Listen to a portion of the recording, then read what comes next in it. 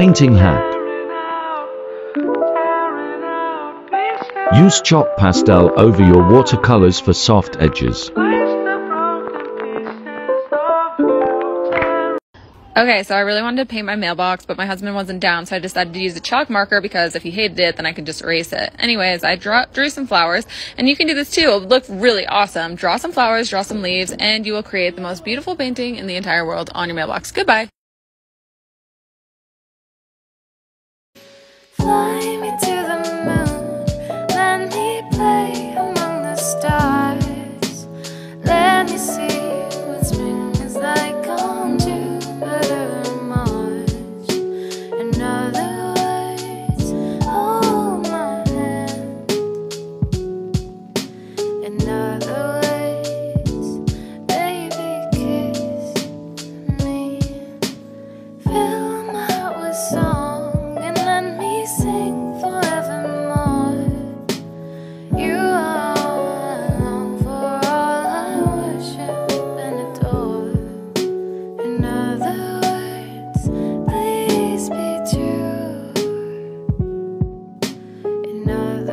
other drops fall, and the beauty of it all is when the sun comes shining through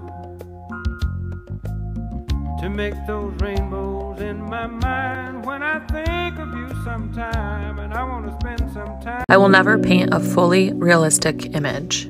It's just not my style. I'm obsessed with funky, fun, and flashy details. I visualize shapes when I think about shading and highlights. My artwork is defined by those shapes. What do I mean by that? Well, I draw unique lines around all the shading and highlighted areas. I then emphasize those lines with bright, flashy colors, or metallic leaves, or Swarovski crystals. The flashy ads are different for each painting.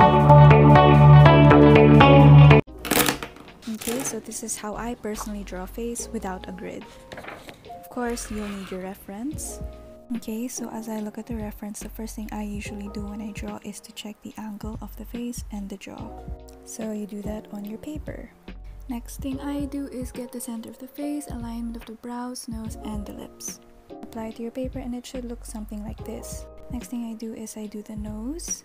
So just simple lines will do, don't worry about it too much. Important here is you just map the important areas of the face. Next is the eyes and as you can see the eye is really close to the bridge and this one's a bit farther off. And if you're worried about the spacing here, what you can do is measure this and then you'll notice it's actually the same size as one eye. So you map it out, look at the directions and the shape, Apply it to your drawing using simple lines and shapes. While you draw, you'll notice that you'll just be adjusting things as you go. Like and follow for part 2. If you are an artist, I can't recommend Ahmed's 100 Heads Challenge enough. This is a challenge started by Ahmed Aldoori, where you draw these 100 heads in 10 days. There's no real rules, so you can use pencil, paint, or digital. You could even just draw 50 heads, or you could take 100 days to finish. What's important is that it gets you drawing. As artists, we have thousands and thousands of bad drawings in us, and they never go away. But the only way to get past those bad drawings and get to the good ones is to just put them on paper. This is a really great way to do it. I promise that if you stick with this challenge, you will really improve at drawing heads. And what's great about it is that the 100 heads that he provides on his Pinterest board have a great amount of variety in them. They're fantastic reference photos, so you really get to learn to draw a really wide variety of heads. And I cannot recommend this challenge enough. I'm halfway through. I hope you join me. Calling all artists. Use this sound to show your top 5 favorite pieces.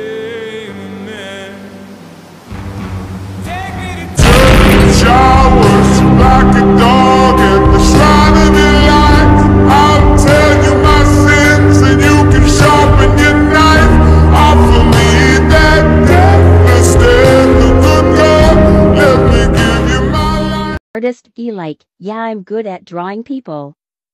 Yeah. Really? You sure? Then draw a man. Come on, no more pretty girls. Draw a dude for once.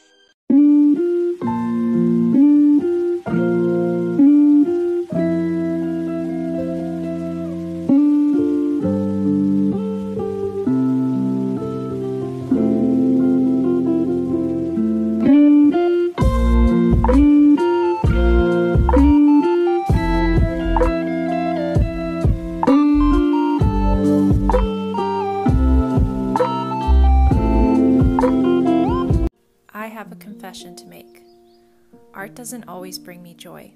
In fact, it can cause me a lot of stress.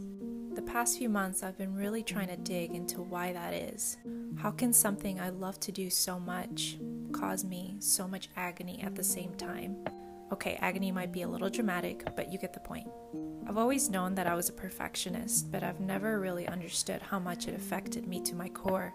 If something doesn't satisfy me, I start being very negative with myself. That other side of me starts convincing me that I'm not good enough, that I will never be good enough, or that others are so much better than I am. So lately, I've been trying to stay off of social media and just dig deep and create with intention and purpose rather than just trying to make something look perfect. I think I'm starting to find my way back, and honestly, even if it's not perfect, I am happy. Quick, grab a marker or a pen. Don't think, just do it. Start with a squiggle. This is the back of the head. Bring it up and around. This will be the side profile. Make a notch where you want the nose to end. Shade a top lip. Leave a bottom lip open. And I create a very sharp chin and cheekbone area. Add an oval for the eye, a circle for the cheek, and then random details such as lines and dots around the eye area. I like to add details outside of the nose and stars across the cheeks. We're going to draw the same thing on the other side but facing the other direction. That way, these two line faces are looking at one another. The first time you try this, it's going to look lopsided. They aren't going to match. That's fine. Sisters, not twins, you know? I liked this doodle so much that I made a sticker. They're not for sale individually, but you can get a free one if you buy a print from my shop. For more, follow me on Insta at SavannahLore. If you are in the first year of business as an artist and you're trying to make money from your art, either whether it be commissions or prints, let me tell you something that really worked for me. 90% of my sales from the first year of business has been because of this one marketing tip that a lot of people are scared to do. What I expected was to start to post my art online and then a bunch of strangers would be like, oh, OMG, I want it, where can I buy it? It did not happen like that. I was hardcore marketing my art online for the last year. And instead of strangers being like, OMG, it was people that I know in real life saying, OMG, I want to support you.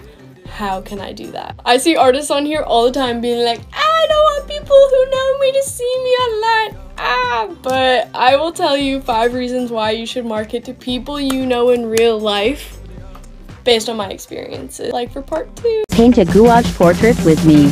Watercolor base darkest colors first. Purple, green, and blue for shadows. Blocking in main colors. Gray for whites of eyes and teeth. Blocking in clothes. Red. Stray hairs, background. Penial tape. Yeah, we're done. Day one of posting my artwork until it goes viral.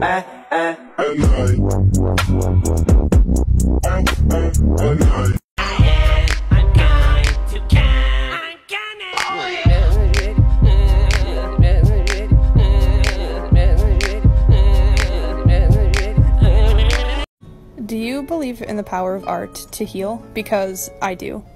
I've been an artist ever since I can remember, but in college I didn't create anything because I was so subscribed to productivity culture and I had tunnel vision when it came to succeeding in academics. I thought degrees would bring me happiness, but I was wrong. When I left grad school, I was more unhappy than I had ever been, and it was only when I picked up a pen and a paintbrush again that I remembered what joy felt like. Never fear creativity, it is healthy for us. Do you have a problem erasing your drawings too much? Then I've got a quick solution for you. Blend first! You can use a paper towel, a rag, a blending stump, and in a worst case scenario, your fingers, uh, you might ruin your drawing that way. It doesn't destroy the paper.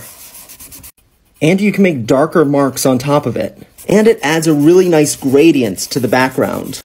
And then you leave the erasing to the highlights. Tag someone who you think needs this. To all my fellow artists, I hope you have good problems today. I hope that you have so much interaction on your posts that you have a hard time keeping up with comments. I hope you have so much creativity that you don't have enough time to put it all down on paper.